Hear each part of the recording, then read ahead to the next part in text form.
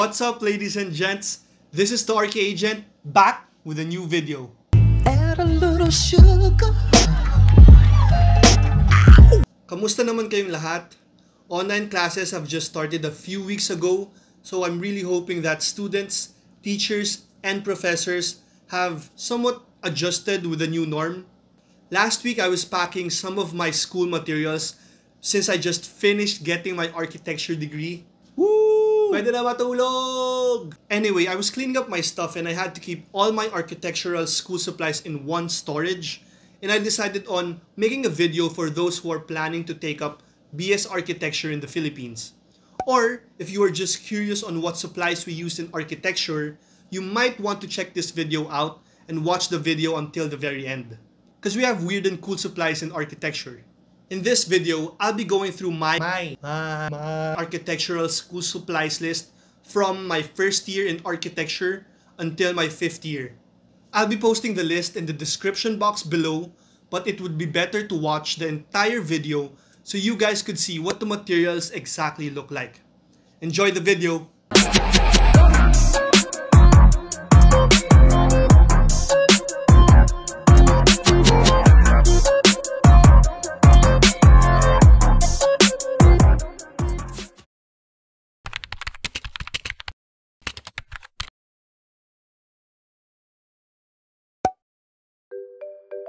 What I have here are my first year to fifth year Archi materials.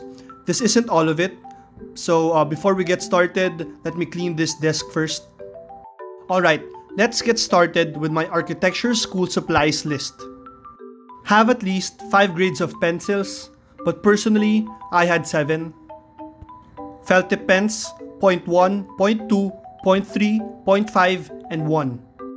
A set of markers, get yourself warm and cool colors, and preferably chiseled and soft brush. A set of colored pencils, although I wouldn't really recommend this anymore. A sharpener with its own container. Just a regular eraser. An ink eraser, the biggest scam. My favorite toy, a clay eraser, or I think this is called the magic eraser. A French curve, this one comes in different varieties and sizes. Just a basic circle template. A drawing compass. This is probably one of my most hated architectural supplies. An erasing shield and make sure this doesn't have any creases. A flexible ruler for larger curves in your drawings. A piece of sandpaper or just a cutoff for chiseling your pencils. I got myself a translucent drafting board after selling my first one, which was made out of wood. So before my first semester ended, I got myself this new one since this is more convenient. It, it definitely made my life much, much easier. An architect scale, aka a Toblerone scale. Get yourself two, one for smaller scales like 1 is to 500 and one for larger scales like 1 is to 25 a 3060 triangle, a 4590 triangle, an architect's main weapon, a T-square. A measuring tape, this is definitely one of my most favorite architectural supplies. A 12-inch metal ruler, make sure it's stainless like this one. I got myself the largest cutting mat available. Luckily, my mom insisted on getting the largest cutting mat because this definitely came in handy a cutter, make sure it's retractable and easy to grip onto.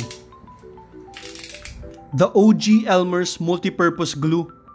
I would definitely recommend using Uhu over glue guns. A storage tube. You could get a plastic one. This one I just got with the tracing papers.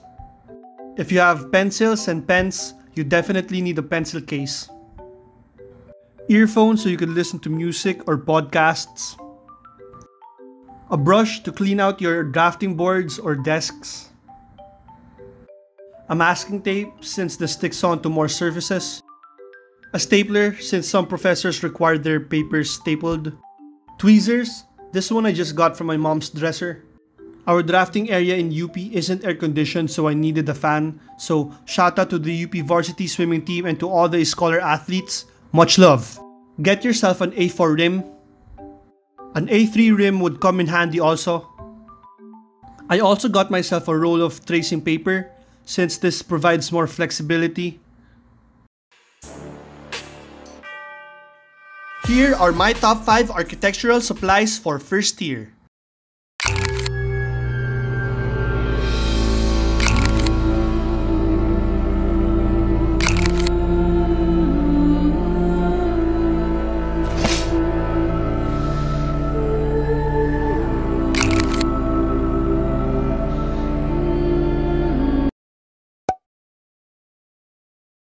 A mechanical pencil, make sure to have extra leads. A furniture template is definitely recommended. A never been used fan scale. I only bought this since I found it entertaining to own. I mean, just look at it. A slightly longer metal ruler, 20 inches to be exact. I even bought a longer one for larger scale models. This one is 40 inches a knife set for easier maneuvering while cutting your scale models, a smaller cutting mat for whenever I cram my scale models in school. Shout out to all my fellow crammers. A mighty bond is nice to have, or any super glue really. A do-it-yourself large folder. I could keep my tracing papers, A3s and A4 here. I just got tired of unrolling my papers from storage tubes an extra large envelope. I could keep my folders in here and my other architectural school supplies like my pencil cases and other stuff. This was my primary architecture school bag since I found this more practical to use than backpacks or other messenger bags. USBs are a good investment. I'd prefer to get 8 gigabytes or more. A power bank for the days when we get dismissed at 9 p.m. An LED lamp this one's flexible, so I usually place this underneath my drafting table so I could trace my plates easily. I bought myself better tweezers since this one's much easier to control when assembling my scale models. Last thing I needed for my second year is a tissue. You know, for all my all-nighters and lonely nights, man. Kung iniisip mong maaga akong nagising, ka. Dahil hindi pa ako natutulog. Here are my top 5 architectural supplies for second year.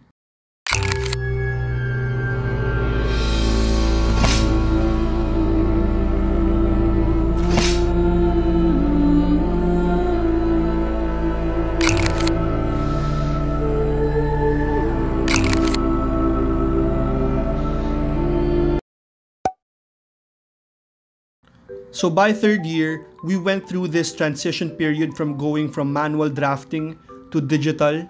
So some of these so some of these materials will still consistently use, but majority of these I'd recommend to just keep it just in case. So let me just remove a couple non-essential architectural supplies. The compass, the sandpaper, let me remove the fan and the ink eraser since it's a scam and Let's remove the Elmers. The most essential architectural supply is my laptop. I got an Asus ROG with an i7 processor and an 8GB RAM. I got this at the end of my second year since we were being introduced to architectural softwares. I got a mouse. I think whether you're an Apple user or not, a mouse will come in handy. An adapter since my laptop has a charger with a grounding type that pretty much wraps up all the architectural school supplies we need for first year to third year. By fourth year and fifth year, we'll have to keep more than half of these supplies since we'll move on to purely digital. Here are my top 5 architectural supplies for third year.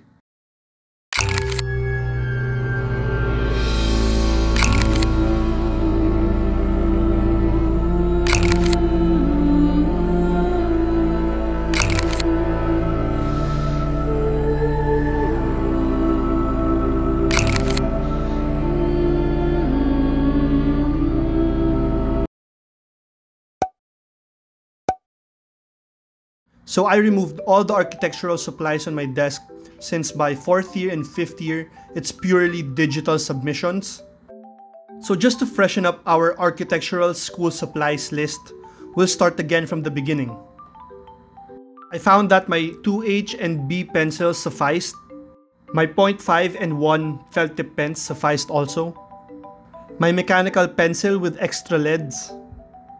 Markers that I used only for consultations. My architect scale with a scale of 1 is to 100 to 1 is to 600. I brought my 12 inch metal ruler to school while I used my 20 inch and 40 inch metal rulers at home.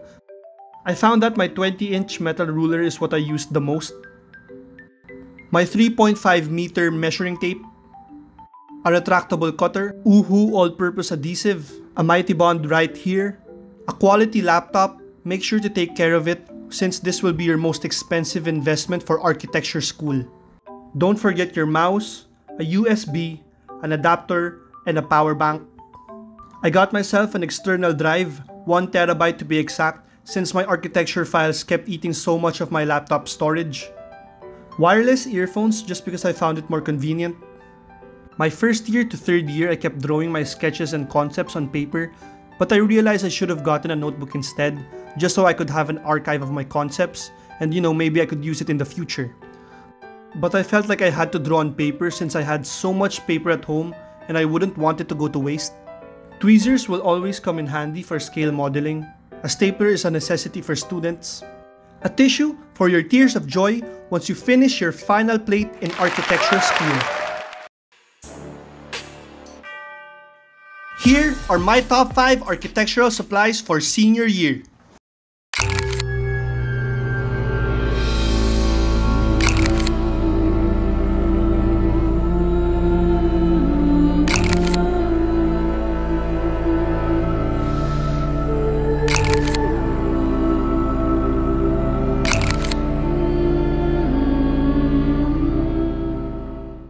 And that sums up my architectural school supplies. If you feel like this video was not informative enough, let me know in the comments below or message me on my Facebook page because I was really planning on making an in-depth video on how these architectural school supplies are used. That said, stay in school and I'll see you in my next videos.